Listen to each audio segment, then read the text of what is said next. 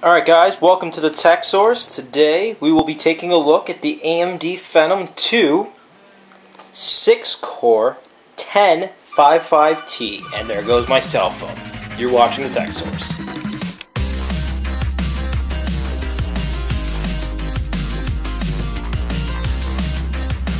Alright, so we're taking a look at the uh, AMD Phenom 2 and it's the 6-core. And this is not the black edition, so it's the 1055T, as I already said. So, uh, without further ado, we can crack it open, but first let's take a look at the box, actually. So it's advanced HD performance, apparently. Very nice, multi-core processor, as we know, it's a 6-core. It also features Cool and Quiet 3, and um, it also has AMD Direct Connect architecture, 64, so cool. And also, 3-year warranty, that's nice if you're not overclocking. Um, it says included in the box is the processor, installation guide, limited warranty information, blah blah blah blah blah. Cool, in lots of different languages. And on the other side, this is the AMD Ultimate Vision. So this will be that's pretty cool. And built your build your PC with the Vision technology. Nice. Anyways, let's crack this thing open. Wow, that failed. There it goes. So it didn't look like I needed my uh, screwdriver to open, help open it up. So uh, look at first? Let's look at the processor.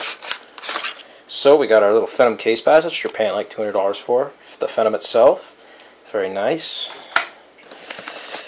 Uh, warranty plus how to install a CPU.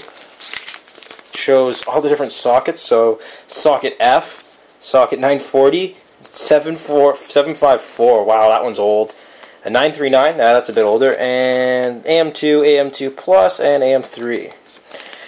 Cool. Mm, lots of different languages. More languages. Holy crap. This thing's huge. Oh wait, here we go. Uh, let's see here. Whoops, sorry, I hit the camera. Shoot. Alright, so, cool, it tells you how to install it. Oh wait, that's for, it, go, it does the installation guide for 7 754, 939, and 940. And then it shows you how to install AM2, AM3, and socket F. Wow, it shows you how to do everything. Cool. And it has information about your warranty and things like that. All that unimportant stuff you can throw away your manual. Don't need it. Actually, no, don't do that. Uh, next, we'll look at our heatsink. Ooh, looks like it's got copper base, and it looks like it's already got pre-applied thermal gels. So, Wow, this one looks pretty beefy compared to the uh, Athlon heatsinks. Wow. Yeah, this is quite beefy. A lot beefier than the uh, AMD, uh, I mean the Intel i7 heatsink. This has got heat pipes and everything.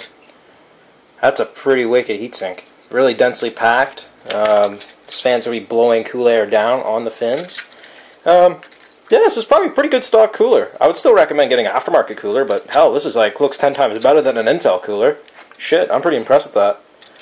Uh, and uh, we'll take a closer look at the processor. I kind of glanced over it before. I'll take out the, oh, case badge. Looks like it's pretty good in there. So open that up. I always want to be careful handling your processor. See, unlike the Intel processors, you got look at all the little gold pins on there. Yeah, that's made of gold. So you don't want to bend those. So you want to be very careful when you're uh, handling it. As you can see, look, you can look down them. Them. So I'm just going to put that back in there and uh, wait till installation. So anyways guys, thanks for checking out the unboxing of the AMD Phenom 2 uh, 6-core X6 1055T. And uh, yeah, it's a really good processor and if you're looking on a budget for a 6-core, Sam definitely one to check out. Uh, I highly recommend it. Anyways guys, stick around. Remember to rate, thumbs up, and subscribe. And join our Facebook group. Do you guys always get news first. Oh, hey, one more thing before we go. I totally forgot to tell you the guys the clock speed of this thing. I kind of ripped it. So, let's see here. Uh, it runs at 2.8 gigahertz, and it has a 9 meg cache.